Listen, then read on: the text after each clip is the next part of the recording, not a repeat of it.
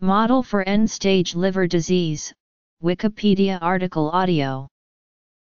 The model for end-stage liver disease, or MELD, is a scoring system for assessing the severity of chronic liver disease. It was initially developed to predict mortality within three months of surgery in patients who had undergone a transjugular intrahepatic portosystemic shunt procedure, and was subsequently found to be useful in determining prognosis and prioritizing for receipt of a liver transplant.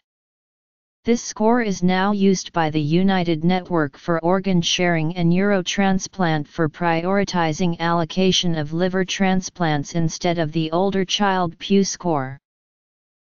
Determination Interpretation History MELD uses the patient's values for serum bilirubin, serum creatinine, and the international normalized ratio for prothrombin time to predict survival. It is calculated according to the following formula. MELD scores are reported as whole numbers, so the result of the equation above is rounded. UNOS has made the following modifications to the score. The etiology of liver disease was subsequently removed from the model because it posed difficulties such as how to categorize patients with multiple causes of liver disease. Modification of the MELD score by excluding etiology of liver disease did not significantly affect the model's accuracy in predicting three-month survival. Patients with a diagnosis of liver cancer will be assigned a MELD score based on how advanced the cancer is. In interpreting the MELD score in hospitalized patients, the three-month observed mortality is Applications of MELD score MELD was originally developed at the Mayo Clinic by Dr. Patrick Kamath, and at that point was called the Mayo End-Stage Liver Disease Score.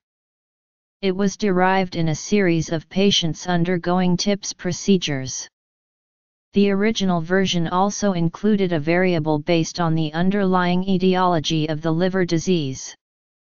The score turned out to be predictive of prognosis in chronic liver disease in general, and with some modifications came to be applied as an objective tool in assigning need for a liver transplant.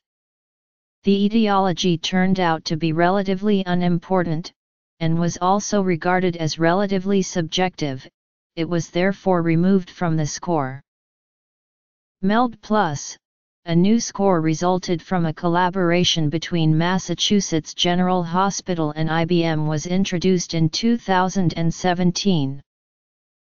If the patient has been dialyzed twice within the last seven days, then the value for serum creatinine used should be 4.0 mg/dl. Any value less than 1 is given a value of 1 to prevent the occurrence of scores below 0.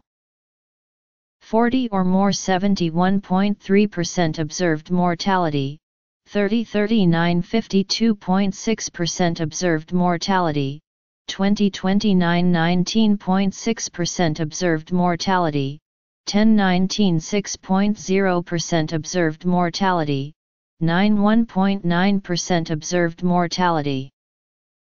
The best outcomes with TIPS occur among patients with a MELD score less than 14, patients with MELD scores greater than 24 who are reasonable liver transplant candidates are probably best served by foregoing TIPS placement.